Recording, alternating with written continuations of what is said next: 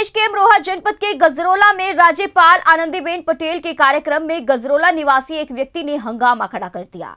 यह शख्स अपनी माँ की पेंशन बनवाने के संबंध में राज्यपाल से मुलाकात करना चाहता था, लेकिन पुलिस प्रशासन ने राज्यपाल से शख्स को मुलाकात नहीं करने दी जिसके बाद नाराज़ शख्स ने हंगामा खड़ा कर दिया।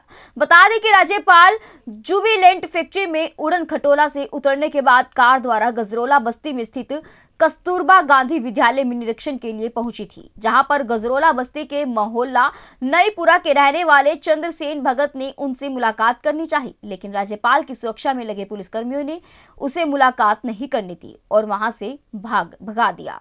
चंद्रसेन भगत का कहना है कि नाईपुरा का रहने वाला है और वह अपनी माँ की पेंशन बनवाना चाहता है। लेकिन समाज कल्याण डिपार्टमेंट में तैनात बाबू उससे रिश्वत की मांग करते हैं, जिसकी वजह से उसका ऑनलाइन फॉर्म रिजेक्ट कर दिया है और वह काफ़ी परेशान है। उसकी कोई सुनवाई नहीं हो पा रही है, इसलिए वह राज्यपाल उत्तर प्रदेश से मिलने आया था। लेकिन यहाँ से भी उसे भगा दिया गया। उसने कहा कि उसकी कहीं पर भी कोई सुनवाई नहीं हो रही है। अमरोहा से संवाददाता मोहम्मद आसिफ की रिपोर्ट। क्या नाम है तुम्हारा? मेरा नाम चंद्रसेन भगत जी है। आराम से मैं हिंदू जाति से हूँ। क्या नाम है आपका? मेरा चंद्रसेन भगत जी है। कहाँ के रहने वाले हो? मैं रहने वाला ही गजरोले का हूँ जी। गजरोला में कहाँ के रहने वाले हो?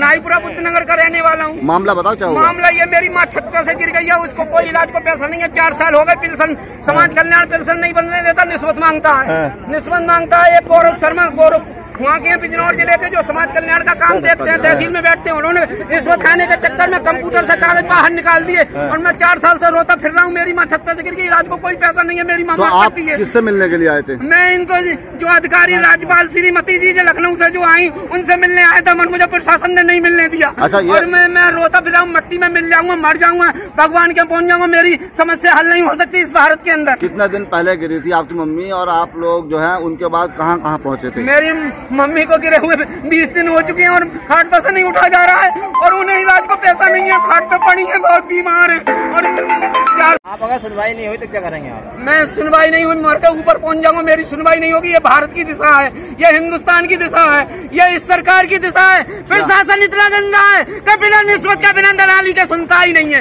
हम मर के उदा हो जाएँगे मगर हमारी शिकायत पूरी नहीं होगी। हमारे इंसाफ नहीं मिलेगा गरीबों पेंशन का समस्या पेंशन की। पेंशन की शिकायत है।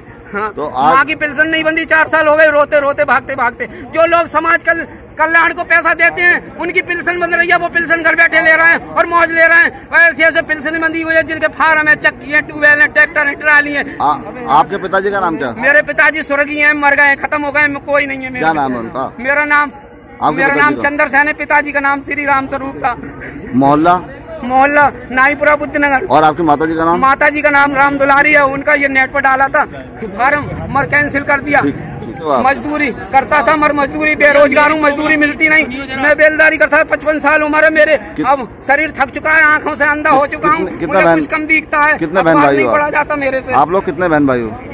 मेरे बच्चे तीन हैं और दो मियाँ बीवी और एक, एक माँ। हम छह यूनिट का पर JBD Banquets लाए हैं। Incredible Marriage Palace Rajgharana and the finest banquet hall Jyoti Garden. World class catering, centrally air conditioned, lush green lawns, state of the art lighting. A perfect venue for wedding, launching and parties. Rajgharana and Jyoti Garden at JBD Banquets Enterprise. ऐसे ही latest खबरें पाने के लिए bell icon को click कर हमारे channel को like share and subscribe करें धन्यवाद